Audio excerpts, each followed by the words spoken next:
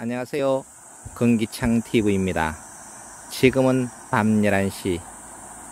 하루 일과를 마치고 이제 행복한 곳이 있는 집으로 걸어가고 있습니다.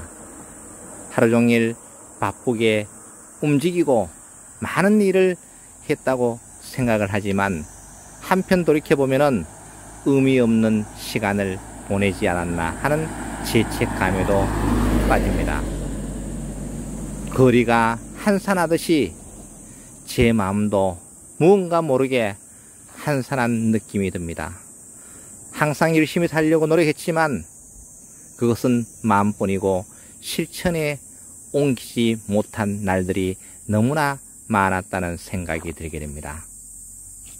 지금까지 제가 연구한 결과물들이 우리 지역의 발전과 후학 양성에 도움이 될 수 있게끔 최선의 노력을 다해야 된다고 늘 생각해 왔지만 시간이 지나고 나면은 항상 부족했다는 생각이 많이 듭니다.